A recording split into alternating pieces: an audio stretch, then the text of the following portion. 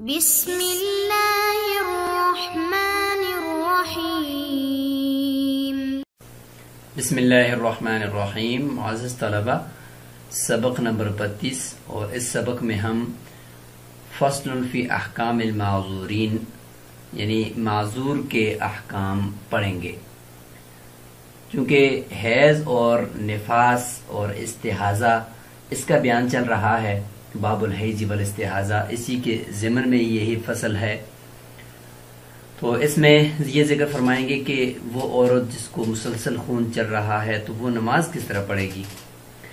ज़ाहिर कि दस दिन से ज़्यादा तो हैज़ हो नहीं सकता तो बाकी दस दिन से ज़्यादा जो दिन खून के हालत में उसके गुजरेंगे तो उसमें नमाज़ कैसे पढ़ेगी वो? तो उसको नमाज़ पढ़ने का तरीका बताया जा रहा है। इसी तरीके से इसी के ज़िमन में जिसके नाक से मुसलसल नक्सीर आ रही है, उसको भी तरीका बताया जाएगा। इसी के साथ किसी का पेशाब का मसला है, सलसुल बोल है, और उसका पेशाब रुकता नहीं है, कतरे बार बार आ रहे हैं तो उसको देखें कि वो माजूर है तो उसने किस तरीके से नमाज़ पढ़नी है। तो सबसे पहले तो माजूर की तारीफ़ को आप समझें। माजूर कहते कैसे हैं? इसी सबक के आखिर में हम वो तारीफ़ किताब के अंदर भी देख लेंगे, लेकिन आप यहाँ पर इसको ये समझ लें कि ऐसा शख्स के जिसको वो उज़र जो लाहिक है, जिसकी वजह से वो नमाज़ नहीं पढ़ सकता या वो उसको परेशानी हो रही है, वो उज़र एक नमाज़ के कामल वक्त तक उसको बरकरार रहे और इतना बरकरार रहे कि उस दौरान वो कोई नमाज़ पढ़ने के लिए उसको वक्त ना मिल सके। इतना वक्त उसको ना मिल सके कि जिसमें वो नमाज़ पढ़ सके और वो उजुर मुसलसल उसके साथ लगा रहे तो इसको हम कहेंगे कि एक कामल नमाज़ का वक्त गुजर चुका है और इसको नमाज़ पढ़ने का वक्त भी नहीं मिल सका इस उजुर में। तो हम कहेंगे कि ये आदमी माजूर है। और इस माजूरी से ये निकलेगा कब? इसी तरीके से निकलेगा कि एक नमाज़ का कामल वक्त उस पर गुजरा और उसको वो उजुर लाहिक नहीं हुआ तो ये माजूरी के हुक्म से निकल आएगा। फिर माजूर का हुक्म यह होगा कि उसी तरीके से बेशक वो उजुर उसका चलता रहे, बेशक वो खून चलता रहे, उसने वज़ू करना है और नमाज़ पढ़नी है। फिर जब नमाज़ का वक्त निकल जाएगा, फिर वज़ू करना है, फिर नमाज़ पढ़नी है। फिर हर नमाज़ के लिए उसने वज़ू करना है, हर नमाज़ के वक्त के लिए उसने वज़ू करना है। तो इसी की तफसील इंशाल्लाह आज हम पढ़ते हैं। फ़सल। वल मुस्तहावतु वमम बिही सलसुलबौली वर्रुआफुद्दाइम वलजुरहुल्लदी ला यतवज़ऊन लिवक्त कुल्ल सलातिन फयुसल्लून बिदालिकल वज़ूइ फिल वक्ति मा शाउ मिन अल फराइज़ वन नवाफिल मुस्तहाजा औरत जिसको दस दिन से ज़्यादा भी खून चल रहा है और वो शख्स जिसको सलासुल बोल है यानी कतरों की बीमारी है पेशाब उसका रुकता नहीं है दायमी नक्सीर वाला कि खून उसके नाक से मुसलसल बह रहा है और वो जख्म जिस, जो कभी भरता नहीं है, मुसलसल उसके अंदर से पीप या खून निकलता रहता है। इन सबको या इसी तरीके का और भी जो भी, यानी जिसको रिह की बीमारी हो, कि उसकी हवा गैर अख्तियारी तौर पर खारिज होती रहती है। तो इस तरीके से जो भी माजूर हो, जिसको वो उजुर लायक हो, जिसके होते हुए वो नमाज़ के लिए खड़ा नहीं हो सकता, नमाज़ नहीं पढ़ सकता। तो यतवज़ाऊन वक्त कुल्लसरात उसी, इसी ओजुर की मौजूदगी में, बेशक वो ओजुर बरकरार रहे, उसकी मौजूदगी में वो हर नमाज़ के वक्त के लिए, हर नमाज़ के वक्त के लिए वज़ू करेंगे। फ़युसलून बिदारी कल वजूई। फिर उस वज़ू से वो फिल वक्ती, उस नमाज़ का वक्त जब तक बाकी है, उसके अंदर अंदर पढ़ेंगे माशा मिनल फ़राइज़ी बन नवाफिल। जो भी फ़राइज़ और नवाफिल वो पढ़ना चाहते हैं, यानी कज़ा नमाजें पढ़ना चाहते हैं, फ़्राइज़ या अदा पढ़ना चाहते हैं और इस से वाजिबात, नवाफिल सब उससे पढ़ सकते हैं। तो ये इनका हुक्म हो जाएगा कि उस उजुर के बावजूद भी वो वज़ू करते जाएँ हर नमाज़ के वक़्त के लिए और उसमें फिर वो फ़राइज़ और नवाफिल और वाजिबात पढ़ते जाएँ। इमाम शाफी रहमल्ला फरमाते हैं कि लिकुल्ल मकतूबतिन। हर फ़र्ज़ नमाज़ के लिए मुस्तहाजा औरत अलग अलग वज़ू करेगी। अगर, यानी हर नमाज़ के वक़्त के लिए वज़ू करके उस वक़्त के अंदर तमाम फ़रज़ पढ़ना, पिछले, अगले, या जितने भी वो पढ़ सकता है, इसकी इजाज़त इमाम शाफी रहमत नहीं देते। वो फरमाते हैं कि हाँ फ़र्ज़ नमाज़ के लिए वज़ू करे, उसके जिमन में नवाफल तो पढ़े, लेकिन अगर दूसरा फ़र्ज़ उसी वक़्त के अंदर अगर वो पढ़ना चाहती है या पढ़ना चाहता है तो फिर उसने उस दूसरे फ़र्ज़ के लिए अलग से वज़ू करना होगा। ये इमाम शाफी रहमत का मसलक है। दलील उनके पास है कि अलमुस्तहादतुल्ली सलातिन। आप फरमाए कि मुस्तहाजा औरत हर नमाज़ के लिए वज़ू करे। लिकुल्ली सलातिन का लफज। इससे वो दलील पकड़ते हैं। लिकुल्ली सलातिन से। और अकली दलील भी दे रहे हैं कि वली अन्तिबार तहारतिहा ज़रूरत अदा मकतूबती, कि इन माजूरीन को जो हम पाक करते हैं, इनकी तहारत का एतबार करते हैं तो इनकी तहारत का एतबार फ़र्ज़ नमाज़ की अदायगी की ज़रूरत के पेश नज़र है। लिहाजा फरा तब कबाद अलफरागी मिनहा, जब एक दफ़ा फ़र्ज़ नमाज़ अदा कर दी तो उसके, उससे फरागत के बाद वो उज़र बाकी न रहा, वो ज़रूरत बाकी न रही। उज़र तो बाकी है माजूरी है, लेकिन वो ज़रूरत बाकी ना रही, क्योंकि फ़र्ज़ नमाज़ उसने पढ़ ली है, लिहाजा वो टूट जाएगा। अब अगले फ़र्ज़ के लिए उन्होंने फिर अलग से फिर करना चाहिए। अगर जो उसी वक्त में पढ़ रहे हैं तो उस फ़र्ज़ के लिए उन्होंने अलग से वज़ू करना। होगा अहनाफ की दलील ये है, वो फरमाते हैं कि आप सल्लल्लाहु अलैहि वसल्लम की रिवायत है कि अलमुस्तहाद वक्त कुल्ली सलात। ये हमारे पास ये जो रवायत है वो रवायत ये है कि हर नमाज़ के वक्त के लिए वज़ू, यहाँ पे वक्त की सराहत है। लिहाजा आपकी जो रवायत है, वो उससे भी वक्त ही मुराद होगा। वहुअल मुराद बिल अव्वल। क्यों? इसलिए कि वहाँ पे जो है लिकुल सलातन, इसमें जो लाम है, ये लाम तुस्तारुल वक्त। लाम को वक्त के लिए भी इस्तारा इस्तारतन लिया जा सकता है। तो लिहाजा दोनों रवायतें गोए कि उनका एक ही मफहूम है कि नमाज़ का वक्त मुराद है। नमाज़ मुराद नहीं कि हर नमाज़ के लिए वज़ू करेगा, बल्कि हर नमाज़ के वक्त के लिए करेगा। उस वक्त के अंदर अंदर फ्राइज नवाफिल जितने भी चाहे वो पढ़ सकता है। तो ये इमाम शाफी रमत को की नकली दलील का जवाब हो गया। फरमाते हैं देखिए नमाज़, ये जो हमने कहा कि हर नमाज़ के वक्त के लिए है, और हदीस में आया कि लिकुल्ली सलातिन इमाम शाफी रमत की जो दलील है तो उसमें हमने कहा कि ये जो लाम है, ये वक्त के लिए है और इसको वक्त के माने के लिए इस्तारतन लिया जा सकता है।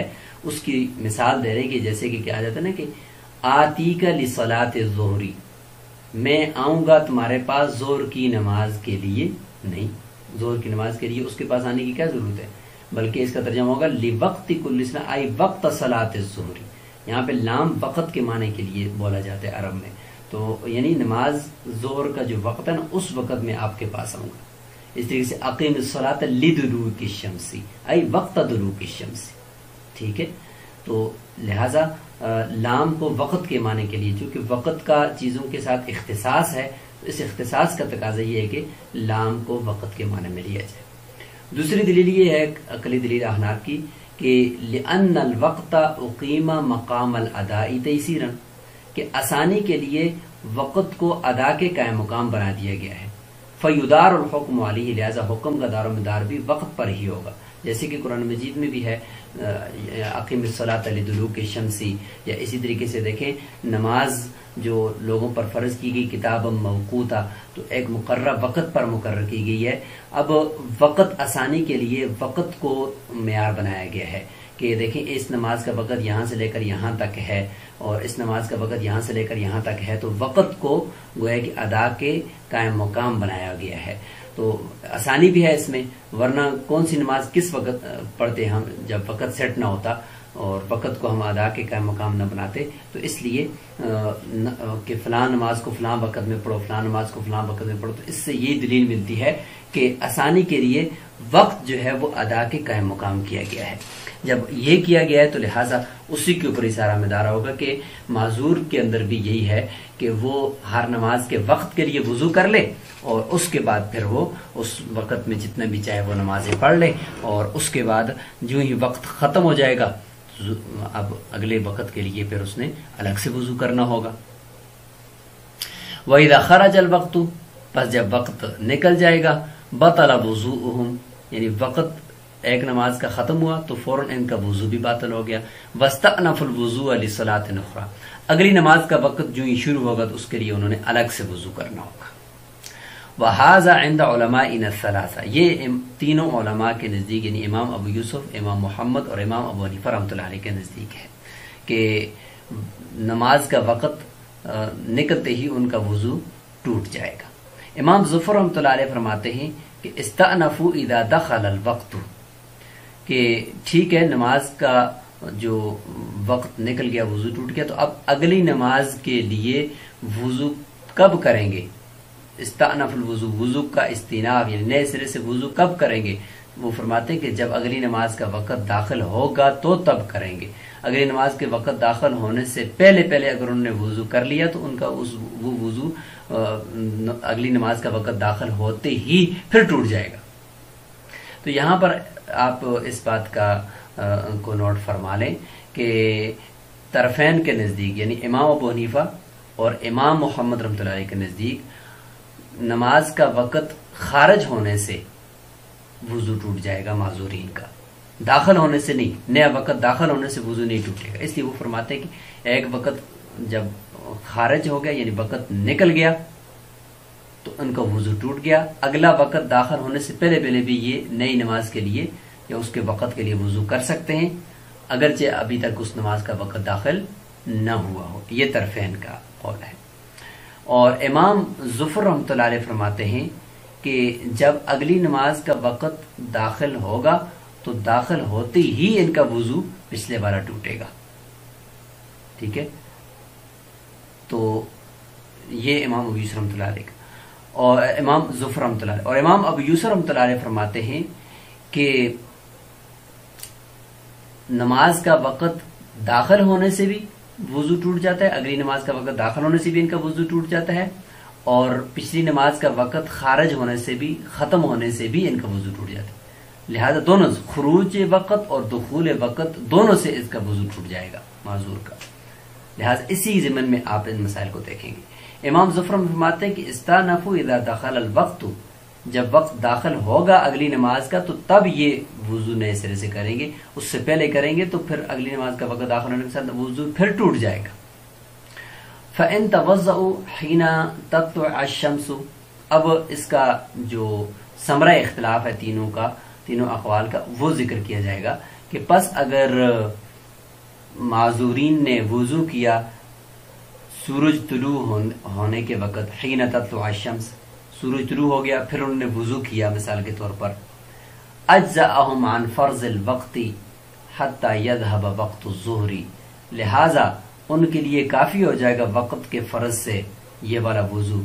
यानी ज़ोर की नमाज़ भी वो इस वज़ू से पढ़ सकते हैं क्योंकि सूरज तुलू होने के बाद, यानी फजर का वक़्त खारिज होने के बाद इन्होंने वज़ू किया है। जब बाद किया है तो लिहाजा ये वज़ू आगे जाकर ज़ोर का वक़्त दाखिल होगा तो दाखिल होने से तो तरफेन के नजीक वज़ू नहीं टूटता ना।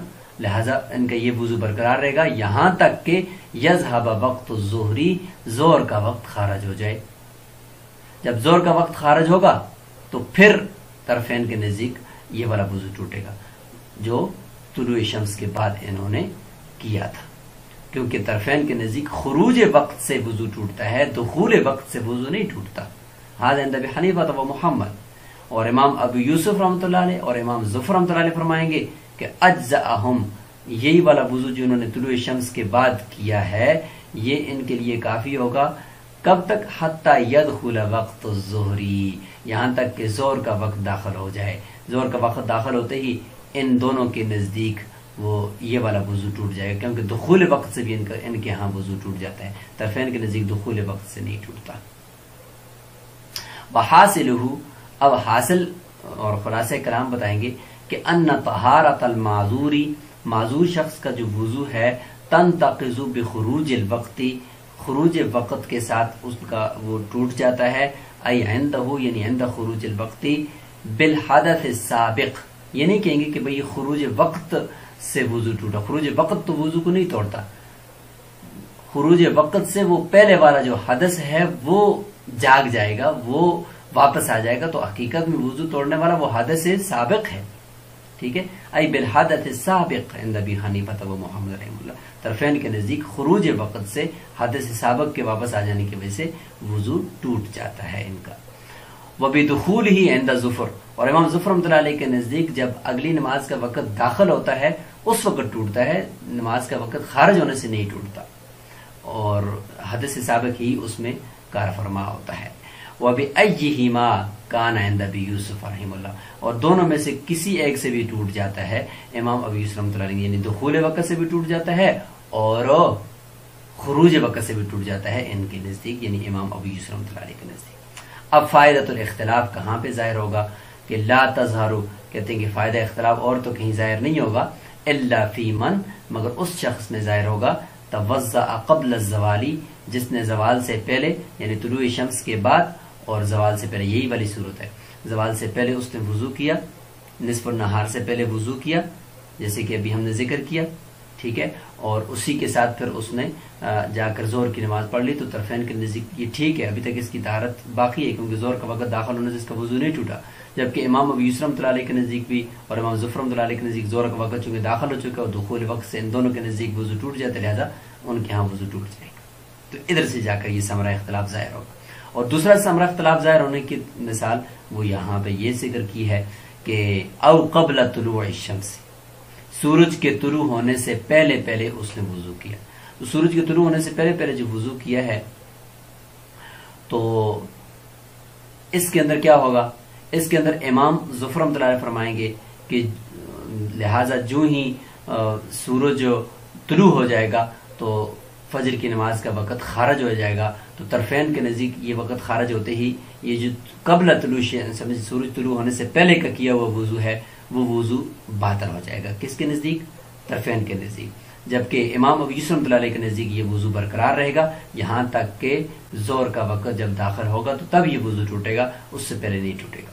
और इमाम अबू यूसुफ के नज़दीक भी ये वज़ू इसका टूट जाएगा जब सूरज का सूरज तुलू हो जाएगा और फजर का वक़्त खारज हो जाएगा, क्योंकि उनके नज़दीक खरूज और दुखूद दोनों से वज़ू टूट जाता है। तो यहाँ पर आकर यह समर इख्तलाफ ज़ाहिर होगा।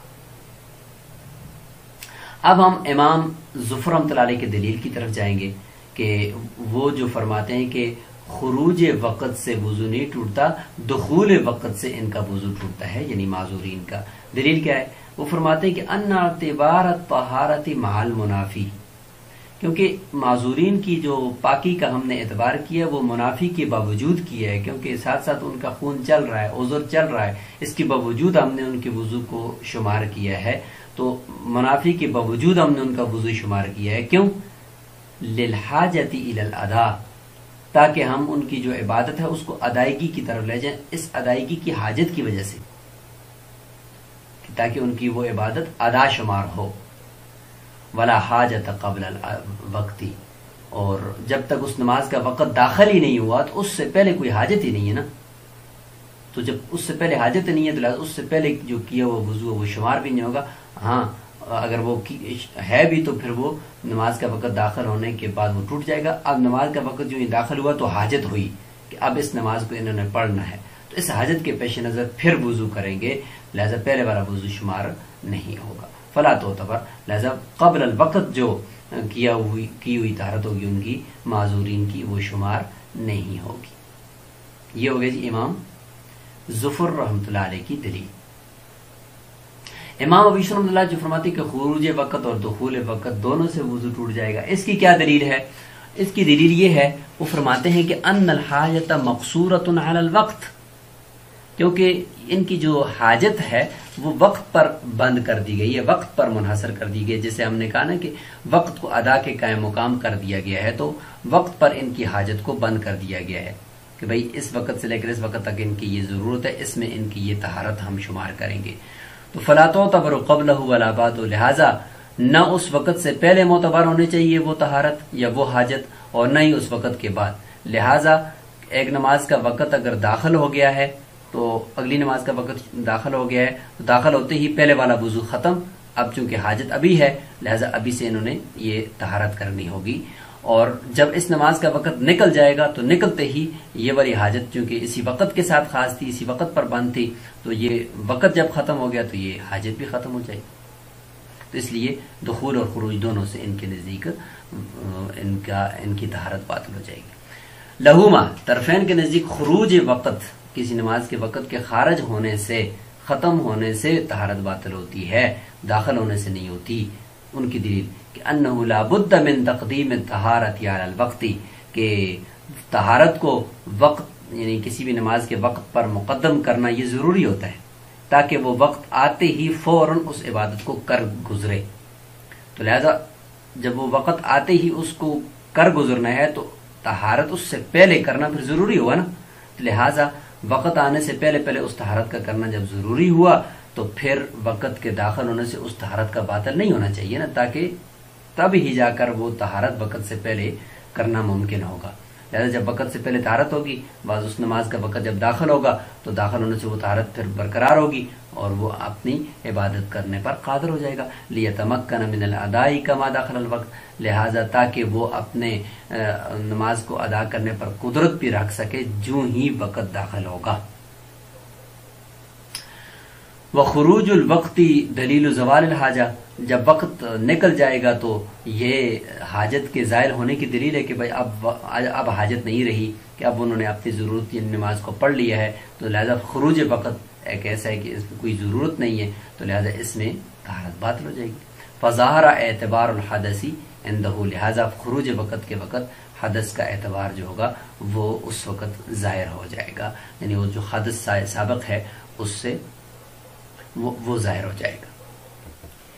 इसमें जो राजिह कौल है, वो तरफेन का है, जो साहिब हिदाया का अपना तर्ज भी है कि आखिर में उसको ज़िक्र करते हैं। तो यहाँ पे आखिर में जो ज़िक्र किया है कि खरूज वक़्त से माजूरीन का वज़ू बातिल होगा दखूल वक़्त से नहीं होगा।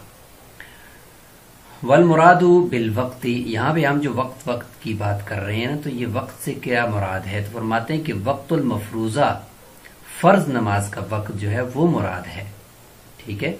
यानी फ़र्ज़ नमाज़ का जो वक्त है हर नमाज़ का मुकर करदा, वो वक्त मुराद है।